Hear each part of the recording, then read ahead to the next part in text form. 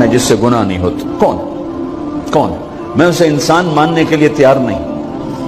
या तो वो कोई फरिश्ता है, या नबी है। ना नबी आ सकता है, ना हम फरिश्ते हैं। वो इंसान ही नहीं जिससे खता ना हो।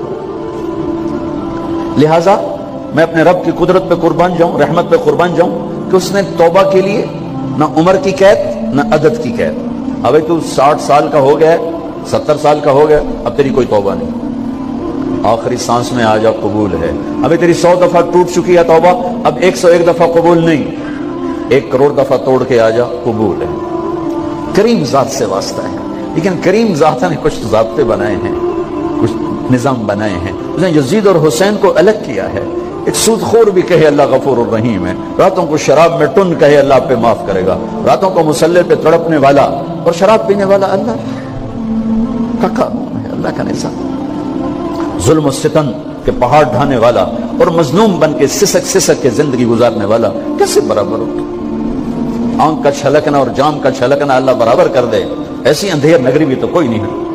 हम नजअलुल कल फुज्जार। क्या नेक और बद मैं बराबर कर दूँगा? अफनज अल मुस्लिमीन कल मुजरमीन। मालकुम कई फतह इसलिए भाई बहनों, मामला बहुत आसान है अगर तोबा हो जाए। और जब गुनाह हो, फिर तोबा हो जाए। जब गुना हो, फिर तोबा हो जाए। तो मामला आसान है। मुश्किल कब है? जब आदमी अकड़ जाए अकड़ जाए। मामला खतरनाक है। लेकिन गुनाह के साथ तोबा हो, आसानी आसानी। माफ़ी माफ़ी है। क्योंकि वो है ही माफ़ी को पसंद करने वाला। दादा भाई बहनों, तौबा की आदत बनाओ। देखो, एक मामला अल्लाह और आपका, उसमें बड़ी गुंजाइश है। एक मामला बंदों और आपका, वो बड़ा औखा है। अल्लाह के वास्ते किसी के ऐब ना देखो, किसी की पकड़ी ना उछालो, किसी को बेइज्जत ना करो। किसी की कमियाँ ना पकड़ो, किसी पे तबसरे ना करो। ये बहुत खौफनाक केस है। नमाज़ छूट गई, ये इतना खौफनाक केस नहीं है। रोजा छूट गया, हज छूट गया। खौफनाक है खौफनाक है। लेकिन ये डायरेक्ट अल्लाह के साथ है। जब चाहे माफ़ कर लेकिन मेरा और आसिफ का जो मामला है, मेरा और सरदार साहब का जो मामला है, मेरा और आपका जो मामला है, ये बहुत खौफनाक है। इसमें कसा हुआ कानून है। किसी को हकीर न जानो। ईसा गुजर रहे थे, अपने साथियों का एक डाकू ऊपर बैठा था पहाड़ पर, चोटी पर। फलस्तीन में छोटे छोटे पहाड़ हैं, बड़े नहीं। तो उसकी नज़र पड़ी, नूर नबूवत देखा। तो उसको नदामत हुई। उसने कहा यार लानत है तेरी ज़िंदगी, सारी ज़िंदगी डाकियाँ गुजारती। चल तौबा करते नेक नबी का साथ दे। अल्लाह, मेरी पिछली माफ़ कर। मैं आ गया। नीचे उतरा, साथ हो लिया। इस्लाम का एक सहाबी साथ जा रहा है सहाबी हर उम्मत का सबसे आला शख्स वो होता है जिसने नबी का फैज पाया हो। ये डाकू, ये साहबी। उस साहबी ने उसको यूँ देखा, नफरत अच्छा ये कितों आ गया। एक तकबर पैसे का होता है, एक तकबर नेकी का होता है। ये पर्दे वाली औरतें बेपर्द औरत को यूँ देखती हैं। उन्हें नहीं पता कि उन्होंने बेपर्दगी से भी बड़ी तबाही फैला एक पैसे का तकबर है, एक नेकी का तकबर है। हम दीनदार लोग हैं। हम पर्दादार खातन हैं। ये बेगैरत, बेहया हैं। तो मैंने तो नाचने वालियों में भी अल्लाह की मोहब्बत को देखा। अगर नसीम विकी की वालदा फौत होगी मैंने उसका जनाजा पढ़ा। तो सारे अदाकार इकट्ठे थे। मैंने थोड़ा सा अल्लाह के नबी का ज़िक्र किया। मैंने जितना उनको रोते देखा, मैंने आज तक किसी को ऐसा रोते नहीं देखा। अरे, हर मोमिन के दिल में ईमान है। अरे, अरफात वो मैदान है, जहाँ मेरा अल्लाह कहता है इतने गुना लाओ जितने बारिश के कतरे, और इतने लाओ जितने रेत के जर्रे, और इतने लाओ जितने दरख्तों के पत्ते। आके माफ़ी मांगो, सब माफ़ करूँगा। लेकिन मेरे आज का माहौल, आज का दीनदार, वो किसी को माफ़ करने के लिए तैयार नहीं है। लेकिन मेरा आपका मामला, बड़ी एहतियात बरतो, किसी को हकीर ना जानो, किसी की कमी ना दिल में लाना, किसी के ऐब ना पकड़ना, किसी की पकड़ी ना उछालना। हर चीज़ मुँह पे मार दी जाएगी। यूसुफ बिन हुसैन एक बुज़ुर्ग गुजरे, बड़े खतीब थे। मुहदस थे। जब इंतकाल होने लगा तो कहने लगे, या अल्लाह, एक मेरे पास दो नंबरी है और एक मेरे पास एक नंबरी है। दो नंबरी तो ये है कि तेरे और मेरे तरफ़ म्यान जो ताल्लुक था, मैं उसे कभी ठीक ना कर सका। और एक तेरे और तेरे मेरे और तेरे बंदों के दरमियान ताल्लुक था, उसमें मैंने कभी दो नंबरी नहीं की, मैं हमेशा एक नंबर पे रहा या अल्लाह मेरी एक दयानत है, एक ख्यानत है।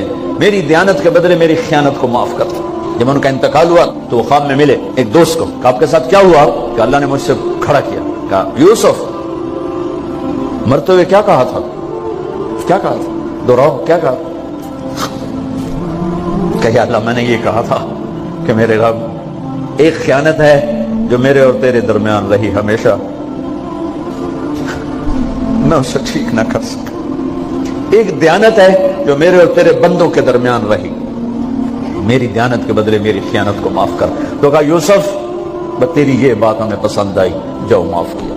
मेरे नबी ने बड़े अजीब वाक्य सुनाया एक तो। क्या के दिन दो आदमियों को कहेगा, चलो जहन्नम की तरफ़। तो एक दौड़ लगा देगा और एक चलते चलते पीछे मुड़ के देखे। फिर आगे जाएगा, फिर देखे। तो दोनों को वापस बुला लेगा। हाँ भाई, तूने दौड़ क्यों लगाई? आगे देखने रहे हो जहन्नम है? कहेगा, या अल्लाह, तेरी ना मानने की वजह से तो जहन्नम देखी। तो मुझे ख्याल है आज ही तेरी मान लो, शायद तेरी रहमत मुतवजह हो जाए। अच्छा भाई, तू क्यों पीछे मुड़ मुड़ के देख रहा था? कहा, या अल्लाह, तेरे बारे में सुना था, तू बड़ा मेहरबान है। तो मैं देख रहा था कि शायद तेरी रहमत कहेगी, आजा, कोई नहीं, आजा। तो अल्लाह कहेगा, चलो थोड़ी गाली, मैंने बड़ी चंगी लगी, जाओ जन्नत में चले जाओ। मामला तो ऐसी करीम जात से, एक आदमी की एक नेकी कम पड़ जाएगी, एक। तेरी एक नेकी अगर बढ़ गई ना तो मैं तुम्हें जन्नत दे दूँगा। अब यूँ है। कहेगा, चलो या मैं ले आम ना अल्लाह कहेगा, जा, किसी को ले आ, मैं तुम जन्नत दे देना। वो या एक तो मैंने लब जानी। वो अपनी अम्मा, अब्बा, चाचे, ताए, बीवी, बेगम, बच्चे, सब मुनकर हो जाएँगे। बनाबा बना। की पता, असा उसे हिक तो थोड़ जावी क्या पता साड़ी हो हिक थोड़ जावे। अजीदा नहीं दें दे अजीदा नहीं दें दे कहेगा, हाय, मैं मर गया। तो एक आदमी उसकी हाय सुनेगा। वो क्यों आई कहे कि, नेकी, तू मार खा गया। कहेगा, मौजा कर, तेरा काम बन गया। कहेगा, वो कैसे? वो कहेगा, मेरे को है ही हिको तू ले, जा मेरे कड़े कम तू। ले, जा। मेरे को होवे तामी अगे ना होवे तामी अगे या तू ले, जा। वो छलांगे मारता हुआ यार, मेरा कम बन गया, और कैसे बन गया? कहा, वो कहता, मैं देता हूँ उसको बुलाओ। उसको बुलाया जाएगा अबे, तुम इसको नेकी दे रहे हो? कि जी, दे रहा हूँ। क्यों दे रहे हो? कि अल्लाह, मेरे किसी काम, मेरे लिए तो तेरा, मैं एक नेकी नाल की जन्नत ले सका तो अल्लाह ताला फरमाएँगे अच्छा आज मुझसे बड़े सखी बनना चाहते हो। आज मुझसे बड़ा सखी कोई नहीं है। चल, तेरी सखावत पे तू भी जन्नत में जाइए भी जन्नत इस लिहाज से मामला बहुत आसान है, मुश्किल नहीं है।